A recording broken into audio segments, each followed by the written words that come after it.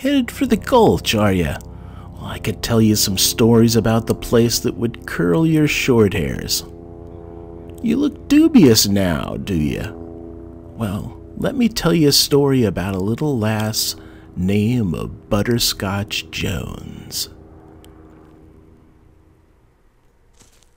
Max, wait for me. Where are you off to? Come back.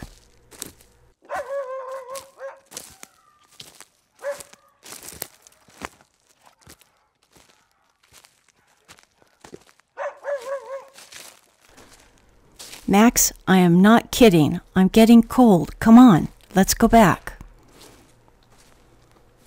Aye, she is the talk of the town, she is. Um, you wouldn't be able to fly a little smoother, would you? Oh, of course I would, lad, but then what would be the fun in that?